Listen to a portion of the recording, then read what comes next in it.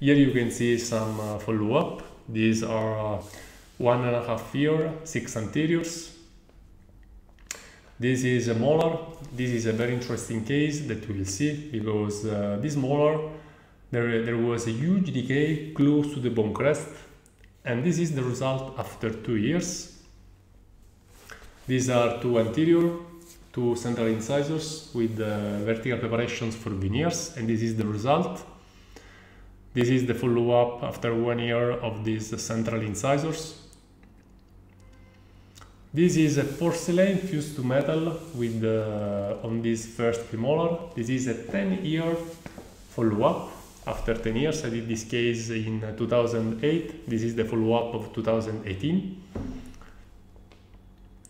This is another interesting case. Uh, this was a tooth with scarce ferrule I did the cast post, the classic one, and the zirconia after, and this is the 2.5 years control. I have also the 4 or 5 years control, and this case is always the same.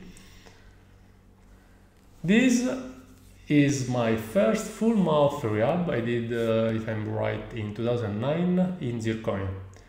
In this case, all the teeth have been covered with crowns. So we have uh, crowns from 6 to 6 in the upper arch and the same in the lower arch. Just we have some crowns on implants in the lower. But here is the result after one year. You can see the stability zero recession after one year. Here is the result after two years.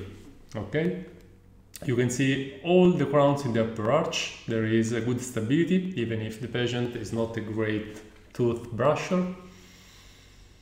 And here is the result after 10 years. And I have also the follow-up of these cases of the last month. I did, you see, there are some fracture of the ceramic because this patient has parafunctions. He's, uh, uh, he has bruxism. But you see that the stability of the soft tissues is very, very high. There is a very good stability of soft tissues even after 10 years.